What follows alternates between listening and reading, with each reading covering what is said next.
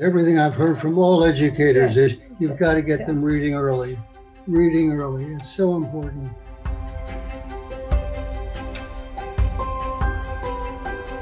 In February of 1994, Laura and I were driving on West Clearfield Street trying to find St. James Church on a very cold, snowy, icy day because we were going to a funeral of a very good friend who also was our best man. And we finally found this wonderful old stone church with a charming graveyard and a rectory across the street. And we thought this is a very special place. So little did we know that eventually we would be quite involved in what would become the St. James School. My mother and father have always been all in for the causes they support. And I think it makes them look for a cause with its approach to addressing real needs. St. James certainly is that. It pulls in young people from all the neighborhood who would not have an opportunity to go to a fine school.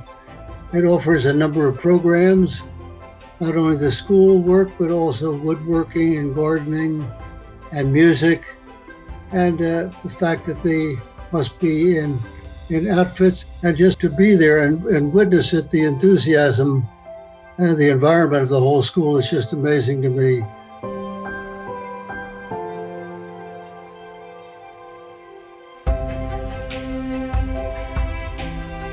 Fourth grade is so important because I can learn new things that I will learn in upper school and I can make new friends and maybe we can like like we do like a lot of routines that help us understand the work. The impact that fourth grade is making at St. James School is that we're able to help students sooner academically, social, emotionally, and we're able to make um, stronger family connections. At St. James is better because you have like ceremonies, like we win awards, and we wear like the perfect uniform. Over the past two years, I think the greatest success um, besides the academics that I've seen is their social emotional aware- awareness. So we're able to acclimate them sooner to the St. James way. We're able to teach them coping skills, how to handle stress better, how to interact socially with each other, solve conflicts on their own. I would say that my mother and fathers and my sisters and I know that education is the key component to improving the lives of um, folks in the underserved community. I imagine that our fourth grade students will be able to reach their goals and beyond. So I see them being accepted into great high schools. I see them being successful in high school, being able to pursue either the career route or attend college. Um, I hope that my fourth graders are successful young adults who are social, emotionally aware of themselves, who are successful academically, and who give back to their community. It's a wonderful school. And I, I don't think that you if you don't experience and go out there and visit the school, then it is something that you're really missing. That's right. To uh, observe that lunchtime with the excitement, the announcements, and they look forward to class and all. They, they, they all seem to, to love what they're doing in the school, being, being a part of it. So, yes, everyone should try to see the school. That's what really turned me on.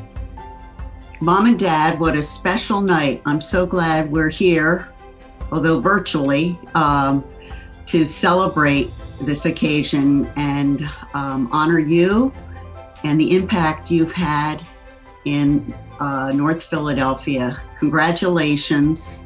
We love you. We are so proud to honor you tonight, and we are so grateful for everything that you have done for the St. James community and especially for fourth grade. Thank you, Mr. and Mrs. Buck, for opening up St. James and the fourth grade because if I didn't if I didn't have you, then I wouldn't be able to go to St. James School. Well, we'd like to thank you very much for this honor. We appreciate it. We did not expect this, but uh, appreciate what you've done for us. And we're again very happy to be in a part of the school. And we wish you great success in your campaign. And uh, perhaps we're going to work toward that third grade, which is all important.